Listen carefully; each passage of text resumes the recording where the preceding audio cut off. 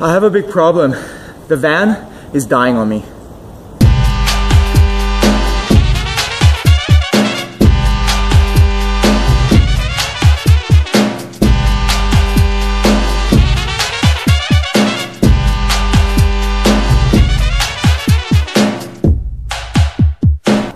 How last year me and my buddy Lior got stuck on a mountain in the middle of the night in the middle of nowhere because the van was uh, running dry on water and was completely heating up? Well, that's not the only problem. So here's what else is wrong with it. The windshield wipers don't work, so if it's raining, I won't be able to see where I'm going. The side mirror is all broken off and I had to uh, tape it. So you see how that mirror shakes?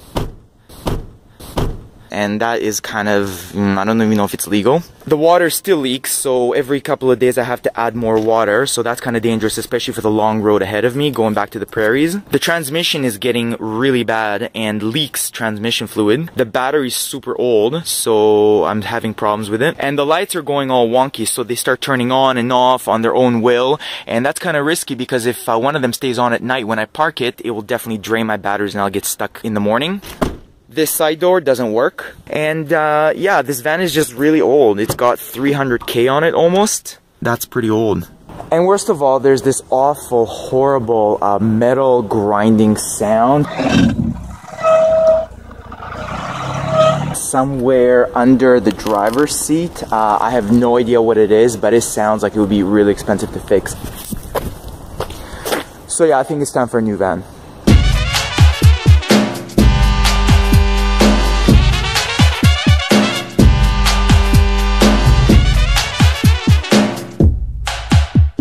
So I started searching for a new van, and man, was it ever painful.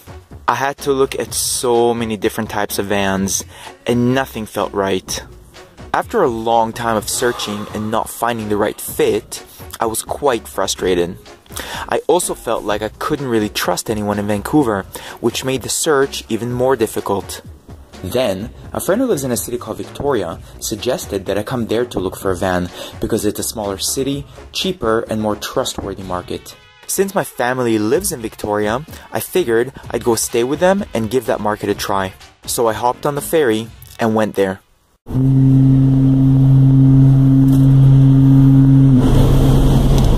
After looking at some more vans over there, I finally found something that felt right. It was clean inside and seemed like it was in good condition, but I had to take it for a test drive. So when were the brakes done last? Uh, brakes were done about six months ago, and uh, they're at about 80% right now. Right, okay, and the tires, when were they uh, last uh, replaced? Do you guys have any of like the service record? Any oil leaks in the engine? Uh, nope, engine's been maintained, uh, been inspected regularly. Um, there have been no uh, no reported issues, and I checked with the mechanic myself before bringing the van over here. Okay. Okay, great. Can I take it on the highway? Uh, we're kind of far away from the highway right now. Um, okay, well, is it pretty okay on the highway though? Like, uh, yes, yes, yes, absolutely. I, I, took the took the van over here on the highway, um, getting over here, and uh, yeah, if there were any if there were any problems, I would uh, would definitely tell you. Okay. So after a lot of searching for many different types of vans, I present to you VanMan's new van. So now that I had my new van, I had to transfer all my equipment over to it and empty the old one. This included my aerator, a lawn care machine I'll explain more about in a future episode. I always use the engine of this heavy machine to propel it up the ramp and into the van, but the engine wouldn't start, so I had to physically push it up the ramp.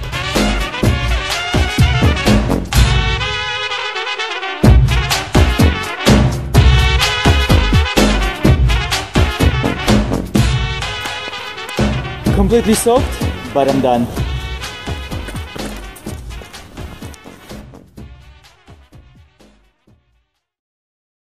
I mean, my friend Lior are in this uh, huge complex of all these old cars where they bring them to, you know, get fixed and crushed and all that. There's all these like cool kind of models, uh, old school, uh, sort of vintage model vehicles. And uh, yeah, so we're basically just bringing my van here to get it crushed I'm getting rid of it because I bought the new van.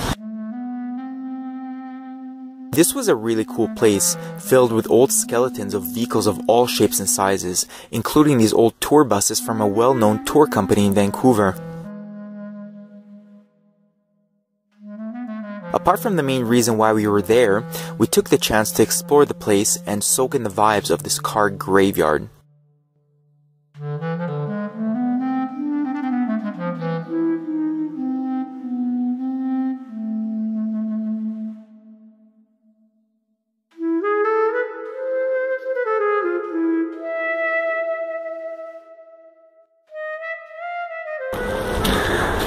So this is a little bit of an emotional, sad day for me just because I love this van and uh, this is, you know, the van where I started vlogging with and had so many adventures and cool experiences with. I've had it for three years and I've actually slept in it for three summers, so it's like two months each time, so a total of like six months that I've actually lived in this van. Yeah, but I mean, it's just too, it's too old, it's not gonna make it another trip and I risk getting stuck in the middle of nowhere, so I really have no choice but to let it go. And uh, next trip that's coming up in a couple of days is gonna be with the new van that is uh, a lot spiffier.